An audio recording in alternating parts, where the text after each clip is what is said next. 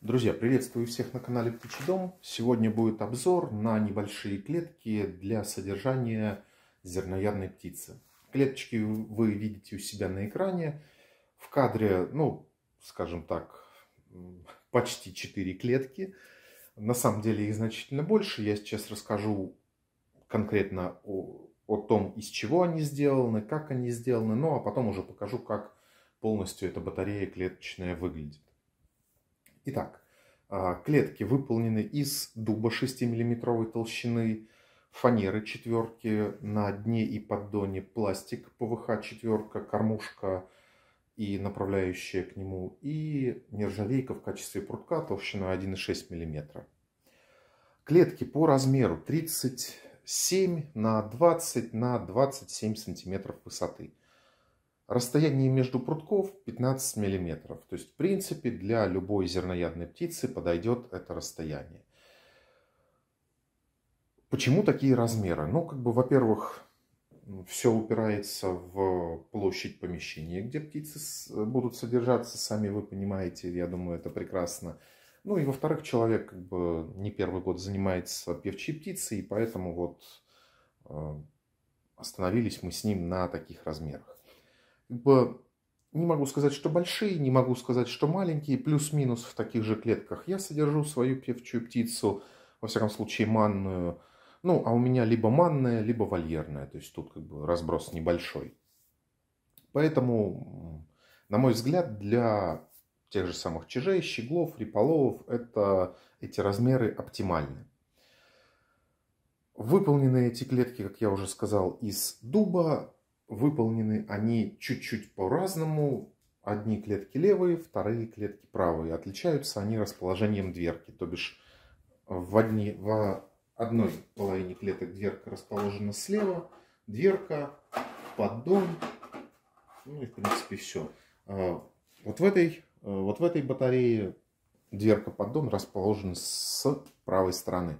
Кормушки, соответственно, напротив дверки, напротив поддона. Ну и получается, что кормушки в этих клетках расположены, а, ну, если их две батареи рядом поставить, то кормушки можно сказать, что по их центру. Соответственно, убирать, ну, тут, опять же, тут кому как удобнее убирать. Кто-то привык там клетку снимать, перемещать, выдвигать поддон, поэтому левое, правое, боковое, в общем, расположение поддона вполне себе устраивает. Кто-то привык клетку не трогать, и поддон делают, делается по центру. Ну, тут кто как привык. Нету здесь каких-то плюсов, каких-то минусов. Э, Все зависит исключительно от пожелания конкретного пользователя этих клеток. Ну, соответственно, кормушка смещена к одной из сторон.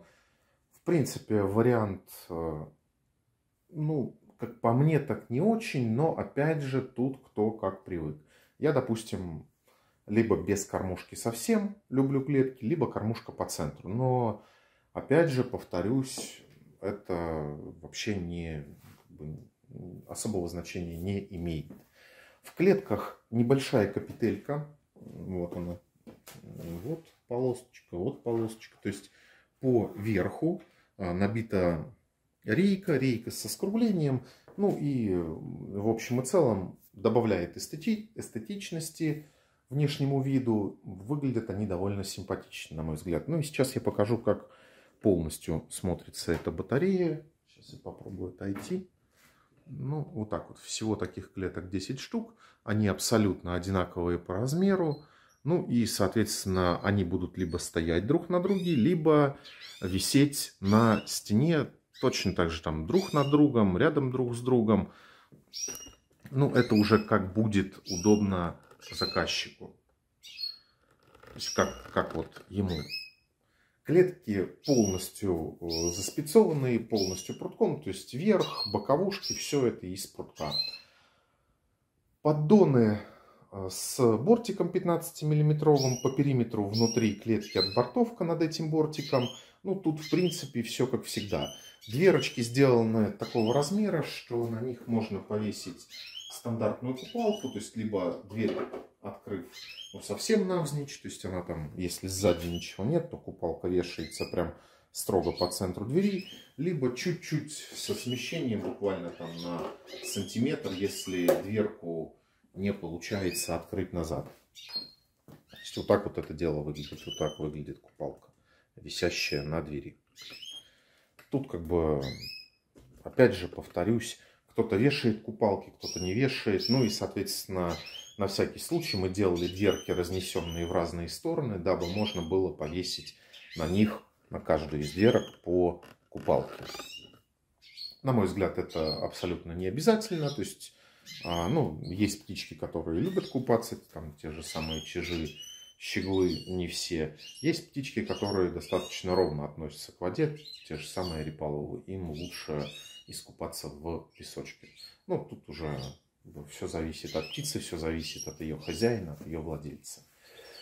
Центральная рейка в этих клетках опущена чуть-чуть вниз. Ну, опять же, все это из-за того, что дверки сбоку. Соответственно, по фасаду максимальный обзор на птицу. То есть птичку очень хорошо будет видно в этих клетках. И вот эта высота, вот эта высота, она сделана с огромным запасом. То есть э, однозначно птица будет сидеть и а, ее макушка будет примерно по а, середине вот, э, вот, этих, вот этого расстояния. То есть а, биться головой в потолок при прыжках птица не будет 100%.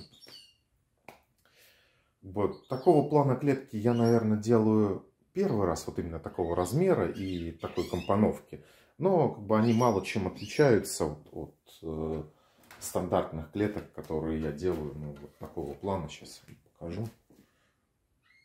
Как бы тут по размеру фактически точно такая же, на 2 сантиметра она пониже.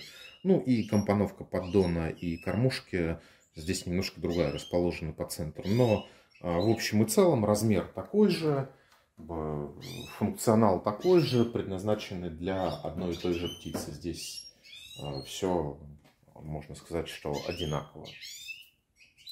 На этом я, наверное, буду заканчивать обзор.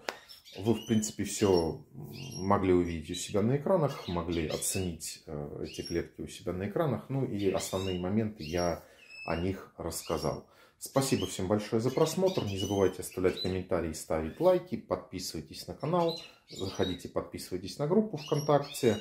Обращайтесь по вопросам там, заказа клеток, отсадников и так далее и тому подобное, либо в ВК, либо в WhatsApp. Ссылочка на WhatsApp будет в описании. На этом, наверное, точно все. Всем удачи и хорошего настроения. Пока.